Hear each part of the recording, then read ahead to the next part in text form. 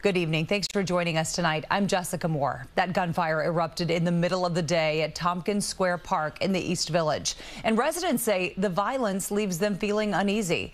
CBS 2's Alecia Reid is in the village tonight with the latest on the investigation.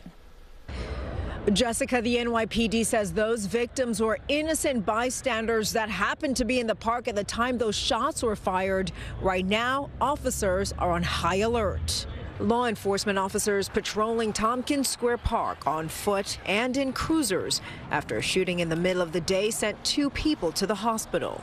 Wow, that is really scary. It happened near the playground on a day where lots of people were outside enjoying the weather. Police say the gunman was being harassed by a number of people when he pulled out a firearm and started shooting. Well, this is not something you want to hear. We're just walking through the park trying to have a nice day. Five shots rang out, hitting a 26 year old man in the buttocks and a 53 year old woman in the hip. It feels like these kind of things happen a lot more often than they used to, especially with what happened on the train a couple days ago. Even on the subway, I take it every day. You just never know, so it is scary.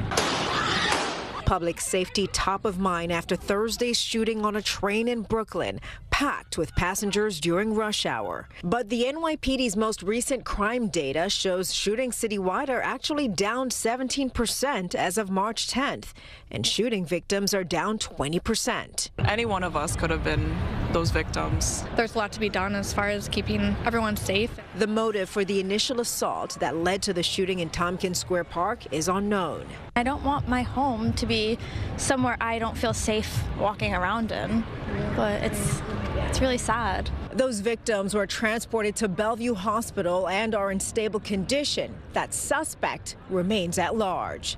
In the East Village, Alecia Reid, CBS 2 News.